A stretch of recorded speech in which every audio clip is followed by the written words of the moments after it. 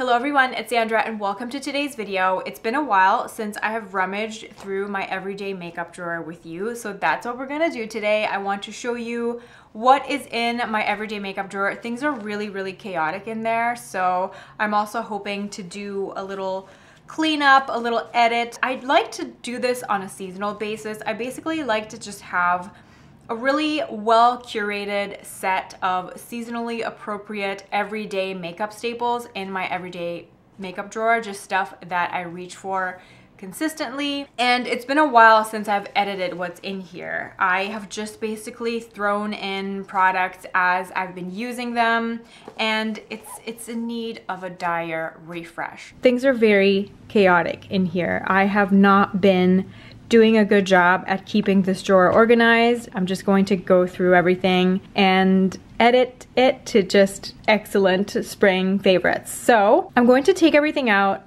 and we're going to go through things category by category as we put them back in.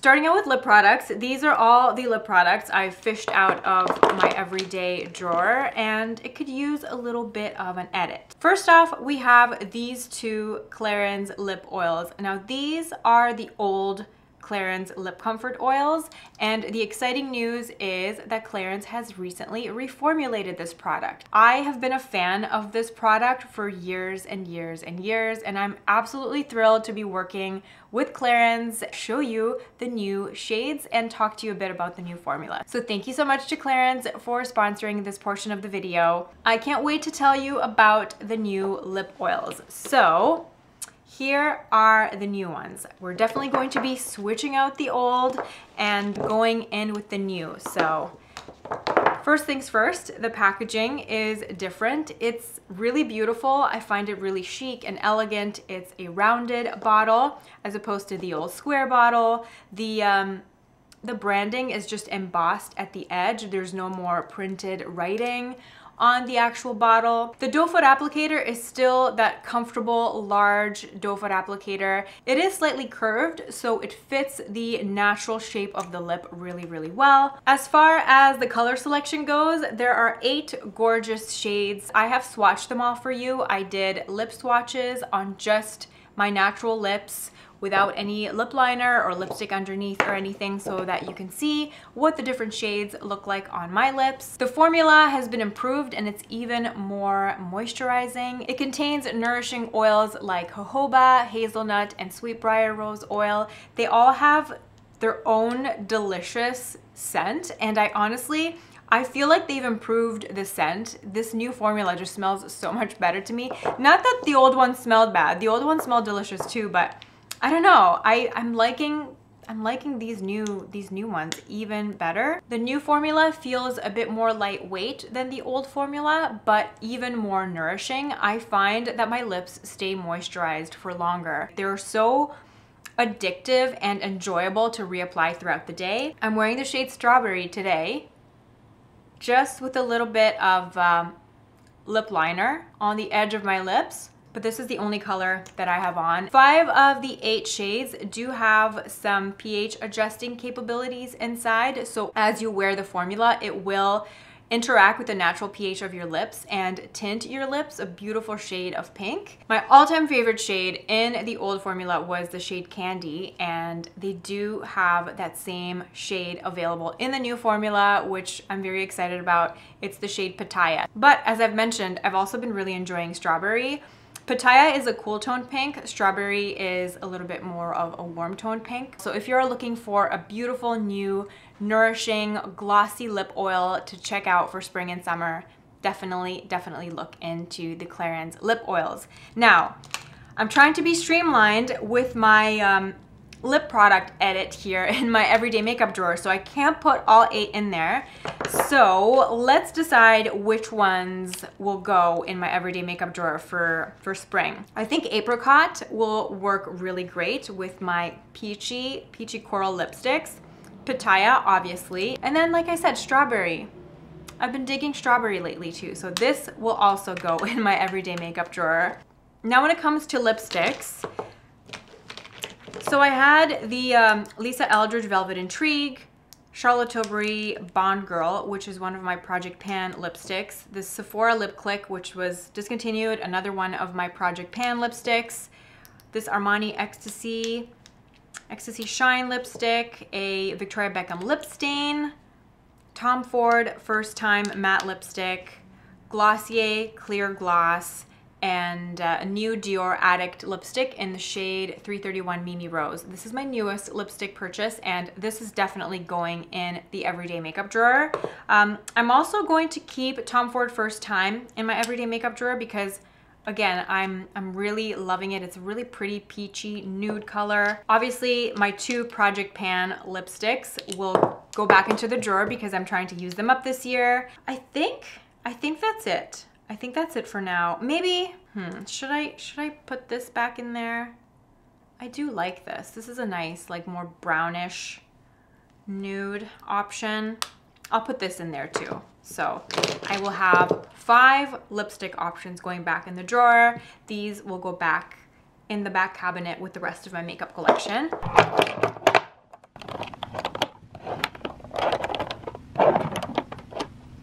All right, next up we have concealers and I have all my concealers in this little bin here, but it's, there's too much. There's too much going on.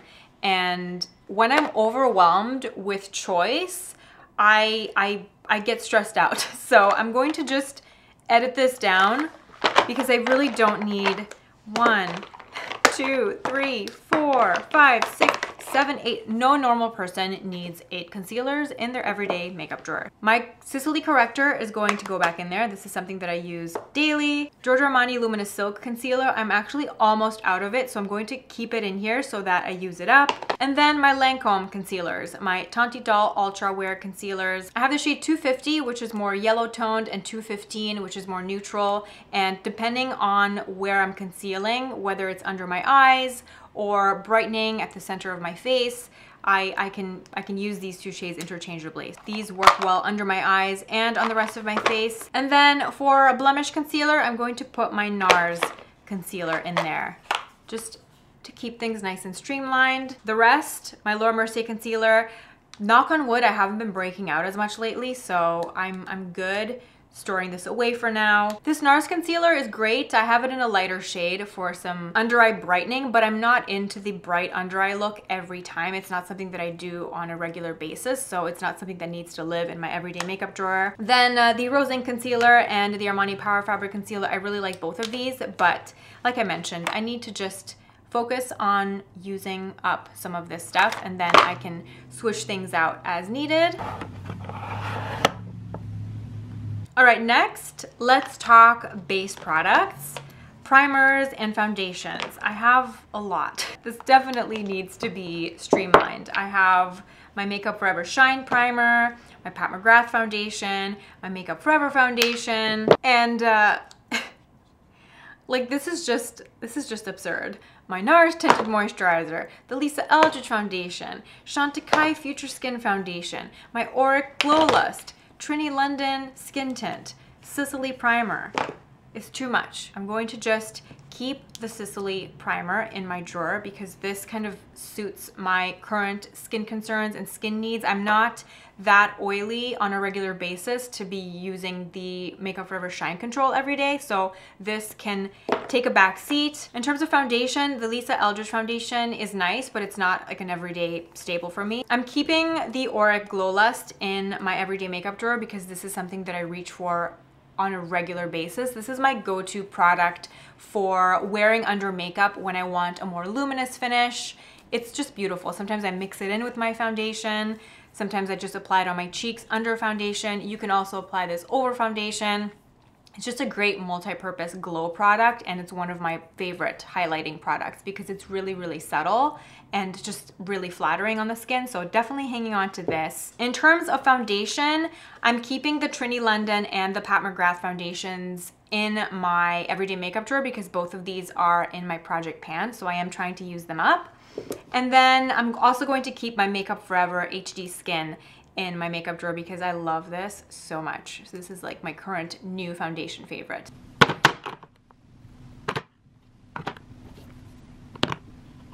much better. Moving on to cheek products. This is also overflowing. There's way too much going on. And, oh, there's, there's some eyeshadow in here as well as well as two more lipsticks. Chantecaille Lip Chic in Honeysuckle and the new one called Freesia. I love Honeysuckle so much. It's one of my everyday My Lips But Better colors. Freesia is a little bit more, a little bit more nude. Mm, I'm only gonna keep one of them in my drawer and I'm gonna do Freesia. I talked about it more in my um, weekend makeup update video that I did. If you want to see it in action, it's just, just a good, soft, pinky nude. For cheek products, I have two cream bronzers. I have the Trinny London Gaia and the Jouer bronzer stick. Um, definitely prefer the Jouer, so I'm going to put this. The Trinny London is nice, but it's a bit more dewy, and I'm not into that dewy look every day. The Jouer is just the perfect, perfect, perfect neutral bronze. I also have the Westman Atelier contour stick, which is gorgeous. I have the shade Biscuit, and it's just the, the best, most flattering, soft contour shade. Then when it comes to bronzers, I have two bronzers here. Both of them are discontinued, rest in peace. The Marc Jacobs, which is matte, and the Becca, which has a sheen to it. So I'm kind of, uh, you know what though? The Jouer Cream Bronzer, the color is very similar to the Marc Jacobs one. So I'm going to stow the Marc Jacobs one away for now and just keep the Becca. Oh, this is an eyeshadow quad. Doesn't, does not belong there. Then I have four blushes. I have the Pearl Beauty blush stick in the shade Girl Next Door. It's so pretty. I'm definitely keeping this in my everyday makeup drawer because I'm really into pink right now. I also have two Pat McGrath blushes both Flirtatious and Nymphette, which they're both pink and I'm really into both of them. So I'm going to keep both of them in here because I love this formula. I'm still having a moment with it. So keeping both in here. I have two Burberry blushes. I have uh, Tangerine, which is a really pretty peachy shade. And then I have Earthy, which is nude. Earthy is more of like a contour shade. I like this more in the fall, so I'm going to keep Tangerine. And I also have this Giorgio Armani Daybreak blush. This is a really pretty soft pink. I'm having a pink moment, so I want to have my current favorite pink blush options at the ready in my everyday makeup drawer and everything fits nicely in here in this bin. These bins are from Muji, by the way. It is so satisfying putting everything in the bins. It's like playing makeup Tetris. Love it. I have two eyeshadow crayons in here. The Sisley Taupe shade, it's shade number 16, a really, really beautiful, cool toned taupey brown, and then Au Naturel by Laura Mercier.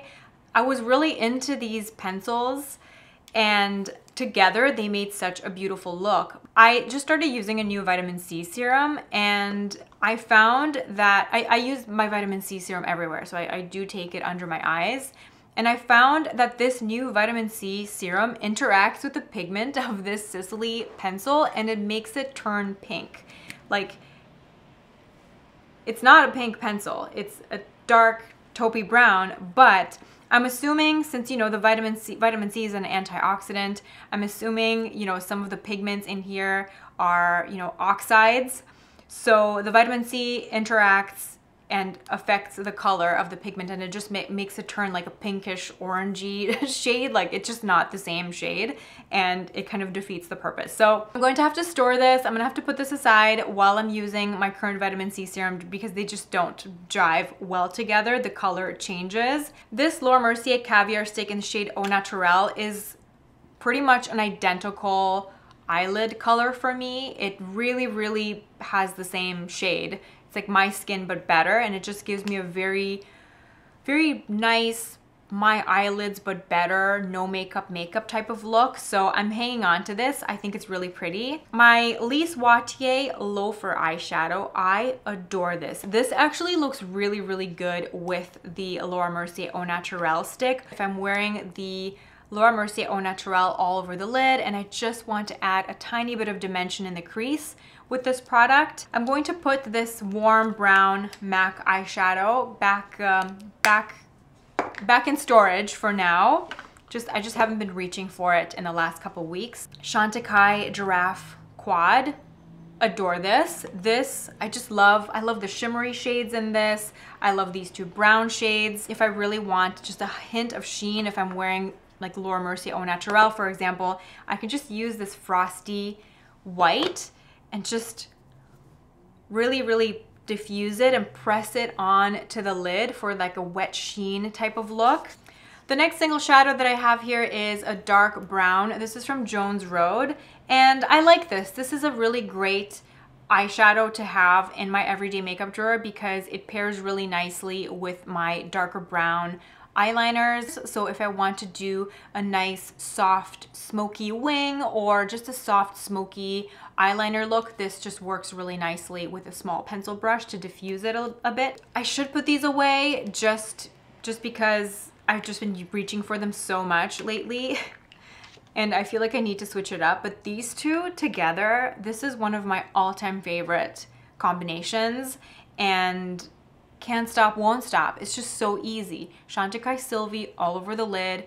Jones Road Golden Peach just in the center to give me a little bit of a gleam. This is just the easiest, best combination. And you know what? This is my everyday makeup drawer, okay?